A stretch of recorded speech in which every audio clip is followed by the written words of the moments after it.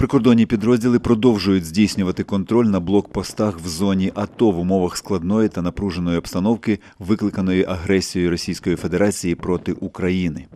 Головним завданням для охоронців кордону є паспортний контроль усіх громадян, що виїжджають з зони антитерористичної операції, та недопущення перевезення боєприпасів, зброї, інших заборонених до вивозу речей. Нещодавно на одному з блокпостів, що знаходиться при виїзді з Маріуполя, увагу прикордонного наряду привернув транспортний засіб з черкаськими номерами, вщент наповнений валізами та військовим одягом. Особи, що знаходились всередині автотранспорту, представилися волонтерами, які перевозять особисті речі військовослужбовців з Волновахи і їхні посилки додому. Документів, які підтверджували статус волонтерів, вони не пред'явили. Начальником блокпосту було прийнято рішення про поглиблений догляд речей та мікроавтобусу.